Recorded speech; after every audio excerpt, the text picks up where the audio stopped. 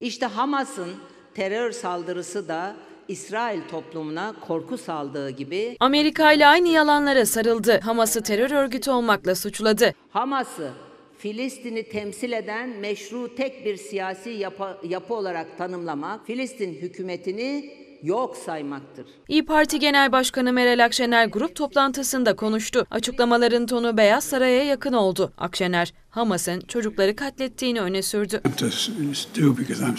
Bugün İsrail halkı terör örgütü Hamas tarafından düzenlenen saldırının hedefi oldu. Bu trajedi anında onlara dünyayı ve her yerdeki teröristlere Amerika'nın İsrail'in yanında olduğunu söylemek istiyorum.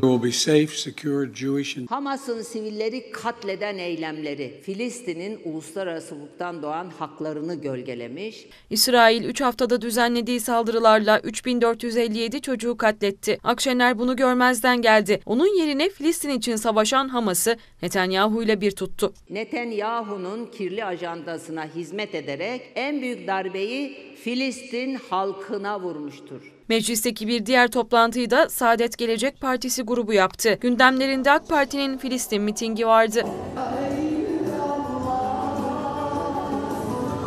Yüz binler Anıtkabir'e aktı. Ancak Gelecek Partisi Genel Başkanı Ahmet Davutoğlu mitingin kutlamaları geride bıraktığını öne sürdü.